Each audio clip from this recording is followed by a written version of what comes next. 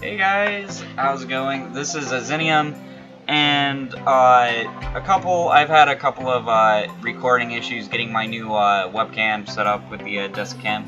Actually, had just recorded two videos that uh, were lost. Um, I will uh, try and explain what's going on down here. Essentially, it's a make your own mouse pad. I also had reviewed a couple of items. This is one of them. Uh, it is a multi-tool. It is a, a uh, laser. It's a flashlight. It's a ink pen, and it's also a stylus. You can actually get this at Dollar Tree for a buck. Uh, great. The stylus is flawless. Uh, the transitions are just completely, uh, completely smooth.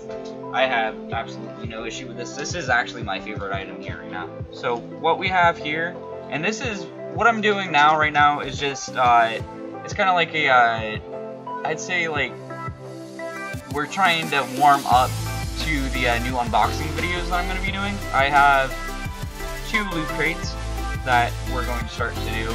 We have the pet loot crate and we have the uh, regular gaming loot crate. So those are going to be coming once a month and I will be posting two videos per month on those. One for the uh, pet crate and one for the uh, gaming loot crate.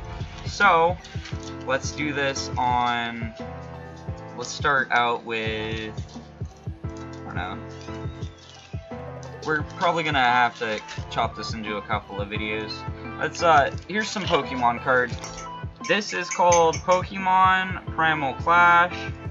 Uh, this is, uh, we're gonna open these up so you guys have an idea of what's in these packages. And if there's something really good, I guess let me know. Um, this one, it looks like we have a a uh, Shroomish, a Honedge, and an energy card. That's uh, pretty cool. Um, this Honedge, uh, it looks like some sort of sword Pokemon. Your opponent active, your opponent's active Pokemon is now confused. It's uh, I, I'm I apologize. Like I said, I know nothing about Pokemon. This uh, Shroomish says your opponent's active Pokemon is now asleep.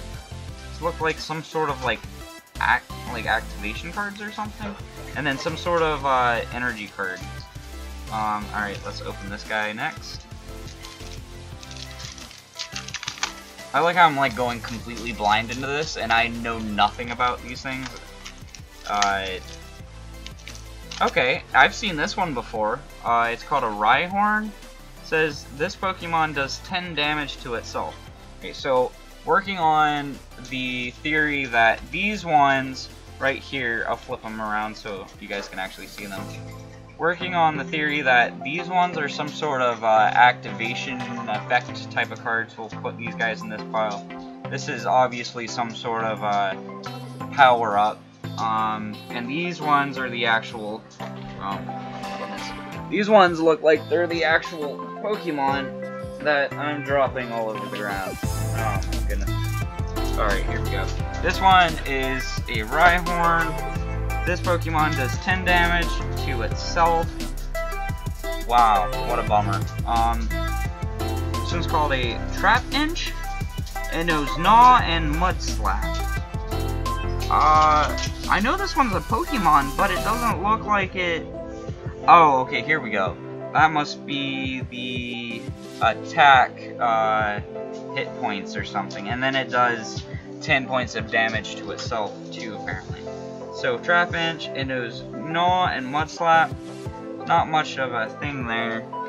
Oh, look at that! There's a little description in the bottom. Alright, so, me, you know, let me go through these again then real quick. So, Shroomish says, it sprouts poison spores from the top of its head. These spores cause pain all over if inhaled. Wow, that's pretty grisly. Um, this one says, if anyone, if anyone dares to grab its hilt, it wraps a blade cloth around that person's arm and drains that person's life energy completely. That's also pretty grisly. Alright. Um, This uh, Trapinch says it makes an inescapable colonel pit that lies in wait at the bottom, and then it lies in wait at the bottom for prey to come tumbling down.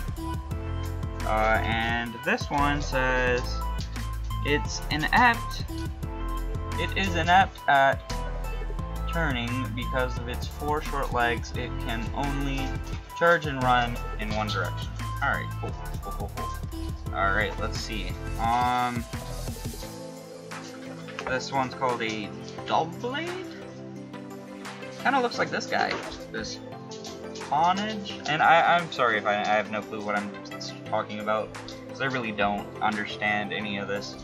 Uh, this one has a pulse swipe. You flip a coin. If it's head, put a damage counter on your point, the opponent's active Pokemon until its HP is 10. And then its description is the complex attack pattern of two swords are unstoppable even for an opponent, opponent greatly accomplished at swordplay. Alright, very, very interesting. I think this game could be fun, maybe if I understood it at all, but, you know, just working off of uh, I'm not really working off of anything. I'm just sort of reading things and hoping I'm pronouncing them right. Alright, we're gonna have to step this up a little bit. Um, I'm just gonna read what they do and the uh, the attacks they have. One's called a Nose Pass. During your opponent's next turn, any damage done to this Pokemon by its attack is reduced by 40 after applying weakness and resistance. Uh, that's Nose Pass. That's another one.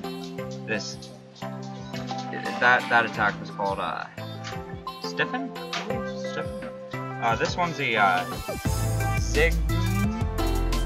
It knows Sand Attack. Uh, if defending Pokemon tries to attack during your opponent's next turn, your opponent puts a coin, kills, that attack does nothing. This is some sort of uh, maybe power-up card or something? It says trainer on it, so maybe it's just a trainer card and it's its own thing. It says shuffle your hand into your deck, flip coin if heads, draw 7 cards, if tails, draw 4. Interesting. Alright, moving right along to pack number I've lost count. Four, pack number four, apparently. Alright, here we go. We got, we, are getting a lot of these, like, blink cards, telling me to go to some sort of website. Um, so we have a, uh, tour chick.